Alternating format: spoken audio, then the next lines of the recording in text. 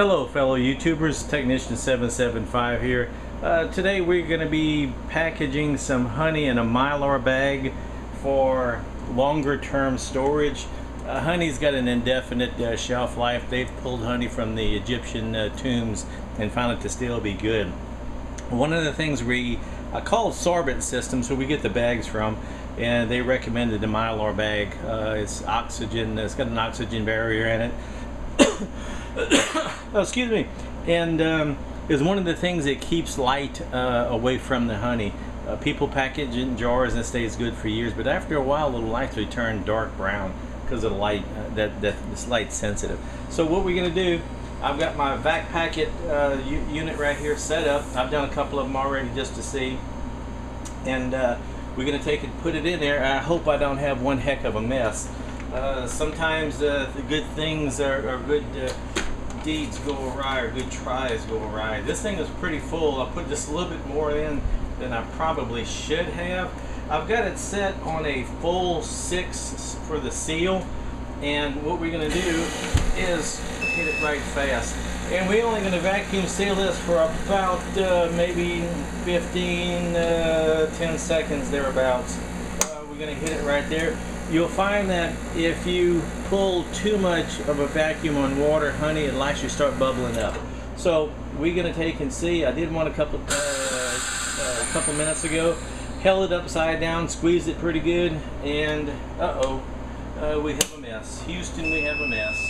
Alrighty, so anyways, uh, not that uh, not that it's right. Um, just put too much in the bag. So I'm gonna pause the video and come right back. Okay, we're back. Uh, I did get another bag. The other one actually sealed up. So I turned it upside down to pour it back in the honey dispenser and it was sealed pretty tight. It must have been something that came out the end. But anyways, I got it all cleaned up. Um, of course, no honey went to waste. I, um, I'm a sucker for good honey. So what we're gonna do, we're gonna try this again. We're gonna put it in the in the vacuum sealer and at the very last minute go and turn this over and let it squeeze and do its thing. Uh, like I said, we're going to do about maybe uh, eight seconds. Uh, that's plenty enough time uh, to vacuum seal most of the air out. Like I said, honey will start bubbling up. I did a clear package uh, earlier, uh, as you can see in the video here. Worked pretty good. it's good strong seal, and um, but sunlight will get to it. Now if you have it in a box or have it stored in a bucket, it'll be just fine like this, you know, so that is that is an option. I do want to say you cannot seal this in a food saver. It has to be a vacuum chamber system, just like this. Um, so I'm going to go over here and turn it upside down uh, to see if we uh, have a good seal. It looks like a good seal. I just want to make sure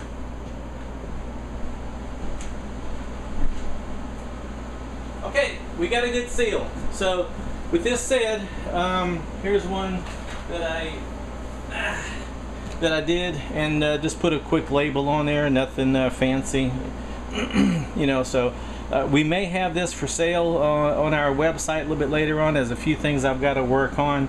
One is the website and get the e-commerce set up. Uh, you know, so but we will have this for sale. I'm thinking that's uh, it's not really hard to do. Just have to get the the proper uh, packaging uh, set up. And the other bags we have coming in, I ordered some. It's got a, a, gusset on the bottom, so it stands up more like a, a regular bag. Although this one doesn't do too bad, stands up just like that, or it can lay down you know, if you have a uh, uh, something to put it in, it can lay down just fine like that for storage, but probably would recommend storing it straight up and down like this, keeping it off the seal just to make sure. So with that said, thank you very much for watching. Please subscribe. Oh, any questions or comments, feel free to take and post.